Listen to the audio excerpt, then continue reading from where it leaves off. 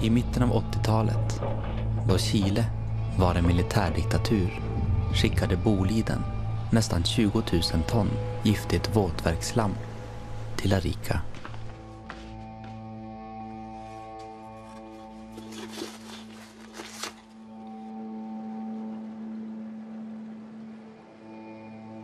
Det innehöll höga halter av arsenik, kvicksilver och bly.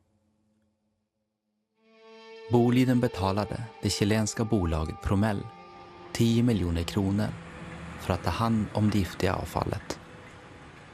Men bara en bråkdel av våtverksslammet upparbetades i Promells ugnar.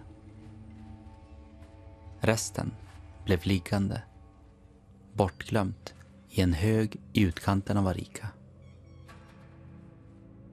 Med åren skulle bostäder växa fram alldeles intill